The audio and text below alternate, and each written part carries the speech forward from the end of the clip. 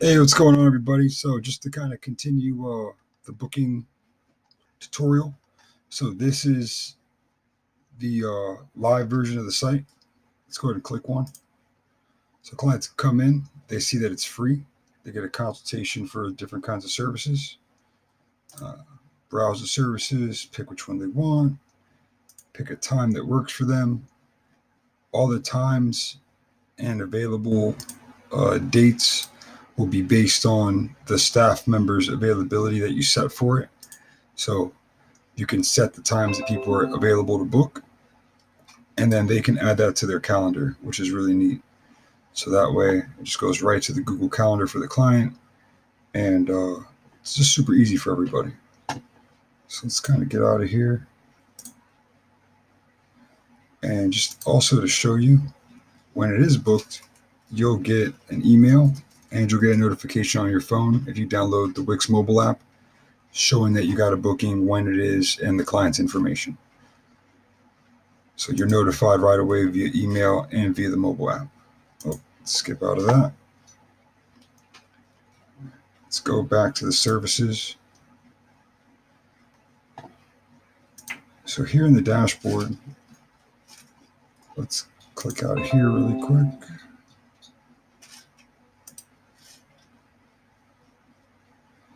So after the free consultations, I also made my next list of services. So I made another uh, service and then I duplicated it. And these are going to be for paid services. So I just want to show you different ways that we can manage the paid services. And it'll be easier to show you on the live site first. So let's go to Wix websites. So that would be the obvious next thing for me to get into, right, is to have a service for that.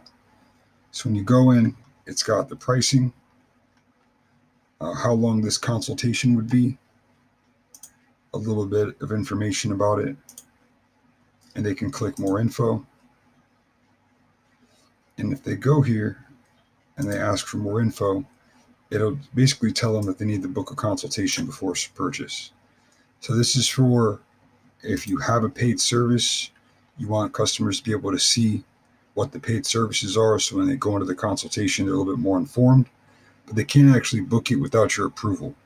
With this, you get a consultation and then you would send them an invoice using the Wix invoicing system.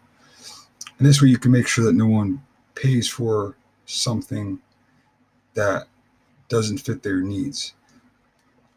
So that way, if someone were to book the $150 Wix website edits but they actually needed a redesign for 300 or a new site for 500 they couldn't accidentally get the wrong thing and then there'd be that confusion between me and the customer afterward. this way they just they know what they kind of want. They book a consultation we talk about it then. Now if your service is a little bit more cut and dry to where they don't really need a consultation they can just go ahead and pay for it. Also give them that option. I put copy on these so you just can't get confused. We're going to go through the different ways of um, accepting a payment.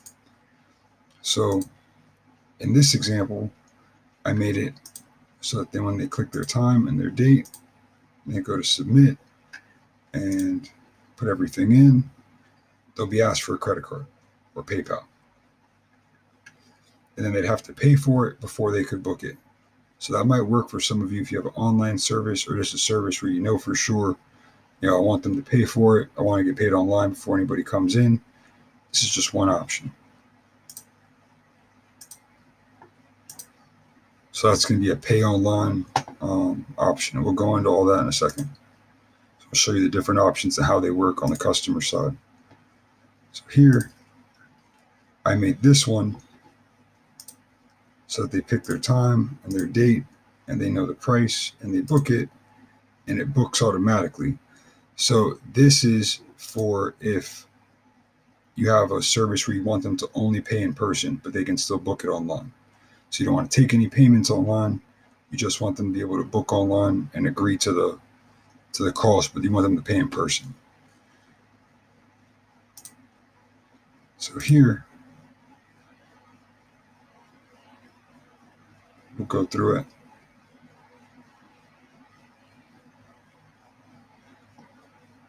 So let this load.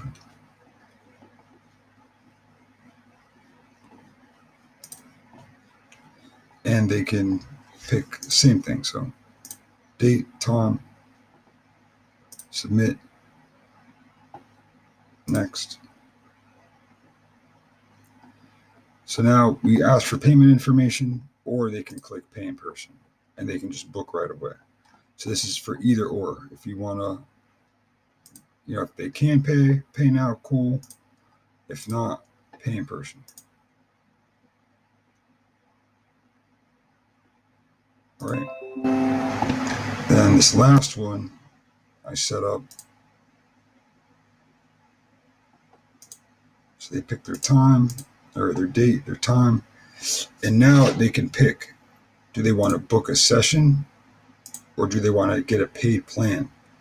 So you can also tie these to the paid plans app where in your paid plans, they can pay one time for a paid plan, then they can book sessions in booking um, as often as the plan allows. So you can have them like a certain amount of times they can book a session in the bookings, or they can have it like three sessions they can book in bookings. So this is good for like if you have a membership kind of thing where it's like, or you have a yoga class and they can pay $50 per class, or they can pay you for an annual plan. The annual plan could be like, let's say, a thousand dollars, and they can book as many times as they want. This is where they would book.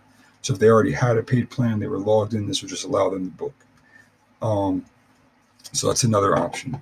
If they want to buy a paid plan, they could just go here.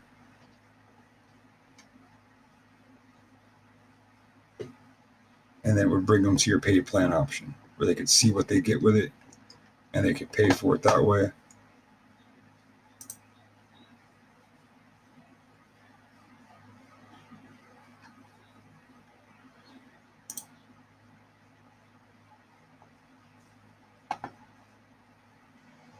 or could have them just book the session, have them come in here, and then either way, pay in person or pay now. And notice here we put a deposit, so minimum deposit. Um, so with these, we would ask them to pay a deposit before booking. Um, and if you don't put paid in person, then on these data, they'd have to at least pay the 300. So if you didn't allow pay in person, it was just pay online, and it was like a thousand dollar service like this is, then you could get a deposit to make sure that they were serious. So these are just different ways of doing it, and now we'll actually go into the app. Okay, so now we're here in the booking services. We're actually in the dashboard where we would edit at and I'll just show you how each one was set up. So these are the ones where we just gave them information. So I put the name of the service, I tied it to a new category. This is where you add new categories. Tagline, and then under advanced settings, you can choose to accept or not accept bookings online. So we just turn that off. And that way they could see how much it is, but they can't actually book a time. So that's how I set up that whole first section. Now here in the copies, same deal. Made a new category. This one's copy of Wix websites. Gave it its title, descriptions. Under advanced settings, you can see it's on. We can accept bookings. And then we want it paid it's a single session, and I want my payment online. And even on an online payment, you can just request um, a deposit on any of those. And the examples I have, I didn't, but it is something that you can, you can uh, it's an option. And this way, we get paid when they do it.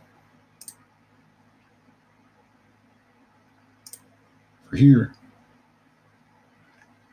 same thing, single session, but it's in person. So they just know the price, but they don't actually pay us anything online.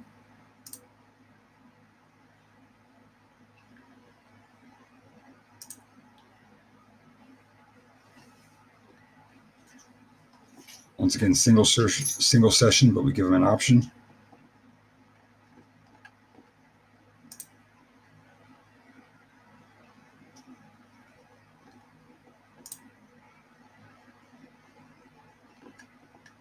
And now here, see instead of single session, you can make it single session or part of a paid plan, or you can strictly make it part of a paid plan. So this is something you can choose at your discretion if you're going to do paid plans or not. We'll have a video on paid plans. So I want to show you how to integrate it here. Um, but basically, like I said, paid plans is where you get them to agree to either paying a lump sum or a monthly fee, and then they can book a certain amount of times or unlimited amount of times. So it just depends on the kind of service. In my service, I could make it so that paid plans had unlimited consultations. So you could pay for a website that would come with, you know, unlimited consultations throughout the year or unlimited consultations for three months. And then they could, you know, as we build the site, they could schedule time to review the site with me. Um, or if it's a yoga class, you, know, you could have a gold membership with unlimited visits, a silver membership with three visits a week, or bronze membership with one visit a week. Uh, but they could pay um, either a lump sum or a fee that would be discounted instead of like a full price single session. So these are the different ways to play with the paid plans um, and get payments on booking. So just kind of wanted to show you all those. Hopefully this explained it good enough. Um, and when you make your different categories, you make them here. This is how you add new categories. So just to kind of go ahead and we'll do one really quick together.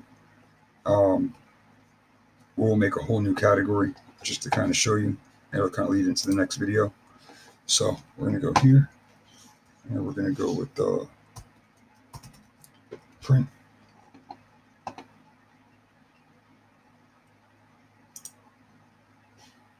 Let's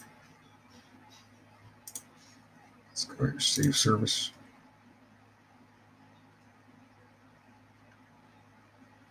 And now we've added print as a category, but you can add a category anytime when you add a service. Just go in, just like you saw, you click here, pick a service. So we added print, and then the AR service could be, um, let's put business card, design.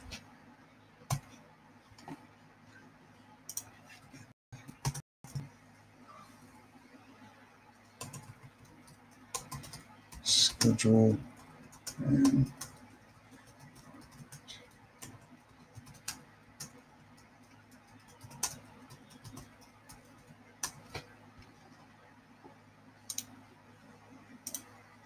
and then you kind of get the idea. So we could fill out this just like we did before. Allow them to book or not book, just like I was showing you.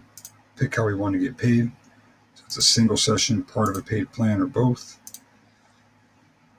if we're going to get paid in person, online, or both, what the price is, and then to request a deposit or not, the time that we're going to allocate, and then which staff member we're going to um, allow to set hours for this.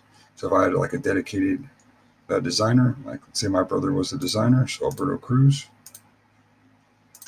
then that would be something you'd only book with him. And then we set his staff member times to choose when they're allowed to book that service and where we want to have it done. Save.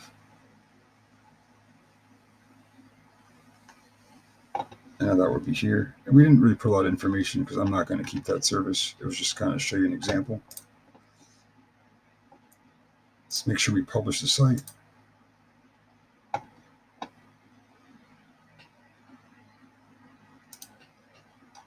let's go back to booking on the live site.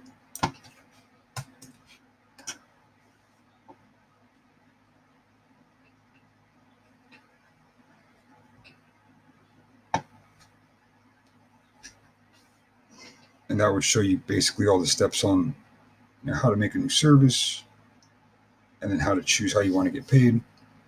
I'm probably going to keep these where you just have to book a consultation first, but you get to see the pricing that's smarter for me in this particular service. Other services might not be. Different ways of getting paid depending on your service, like we talked about. And if you're going to make a service, you know, however you want them to book it. All right. Well, thank you for watching. If you have any questions or this was unclear at all, just let me know and I can clarify it in a different video. Uh, thank you so much for watching and uh, keep us in mind. Call 407 558 2789 with any questions or leave a comment below. Please like the video if it was useful. Have a good night. Bye.